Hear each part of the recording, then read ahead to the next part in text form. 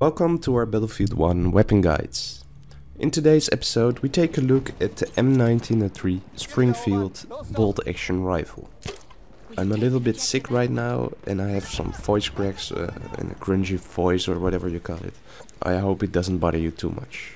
But let's get into the video. We'll start by taking a look at the damage output. It works a bit different for snipers. It starts off dealing less than its maximum damage then it goes up to its maximum damage and from a certain range it starts dropping again. It deals its maximum damage within this so-called sweet spot. Here it deals 100 damage per shot, but before and after this range it deals 80 damage. This means you will kill an enemy within at least one or two shots, depending on the range and the part of the body that's hit. The damage is multiplied depending on the part of the body that's shot and this is also different for bolt action rifles.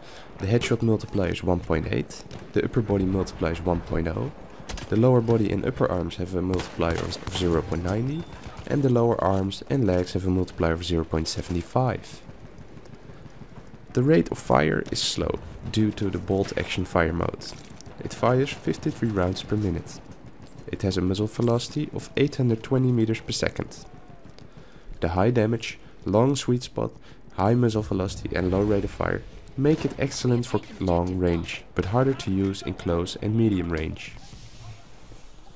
The weapon deals its minimum damage until 80 meters, from where it starts to climb with almost 1 point of damage per meter until the maximum damage from the range of 98 meters, which is quite far, and then it starts to drop off from 150 to 190 meters.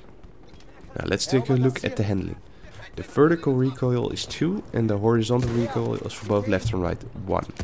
The recoil decrease is 3 and the first shot multiplier is 1. You can consider it non-existent. The aim down spread is 0 when you're standing still, but 1 when you're moving. The hip fire spread is 2.5 when you're standing still and 4 when you're moving. The spread increase per bullet is 0.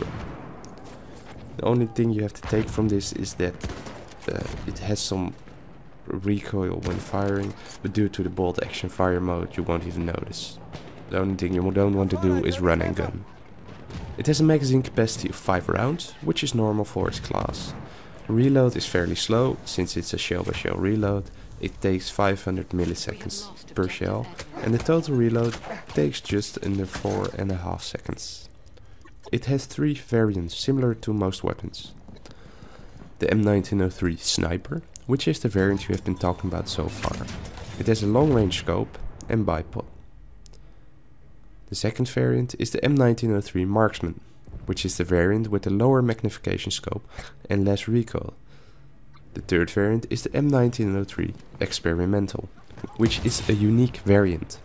It fires semi-automatic, does less damage at 23, has a fire rate of 449 rounds per minute, a muzzle velocity of 400 meters per second, but a magazine capacity of 41 rounds and a simple short reload of around almost 3 seconds.